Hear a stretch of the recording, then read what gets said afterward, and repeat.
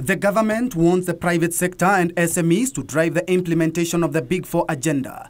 Deputy President William Ruto says the government will reduce domestic borrowing in order not to crowd out SMEs in accessing cash from financial institutions. The, the government has been active in uh, international capital markets as a way of also uh, accessing uh, funds from there and leave the domestic resources to the private sector we were at a fiscal deficit of 9%.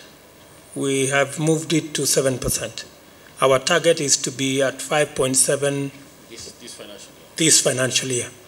That will help us reduce uh, borrowing by government. Ruto says the government has earmarked 200 billion shillings to assist women and youth startups access capital for the Big Four plan. This year, Kenya shillings 200 billion of public spending will be available through this program.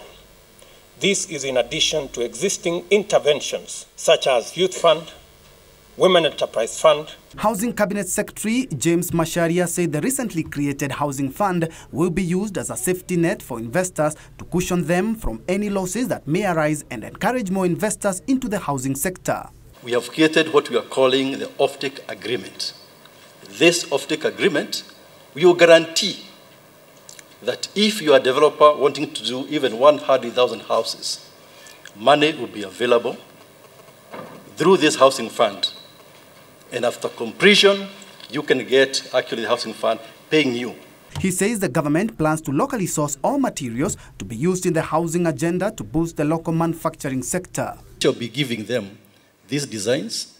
We shall be supporting them in terms of capacity enhancement and they will, they will be the people actually creating the jobs we are talking about. Because they'll be supplying the project with those projects, with, with those uh, particular inputs from their own businesses. Development partners called for more friendly banking laws to encourage lending to SMEs.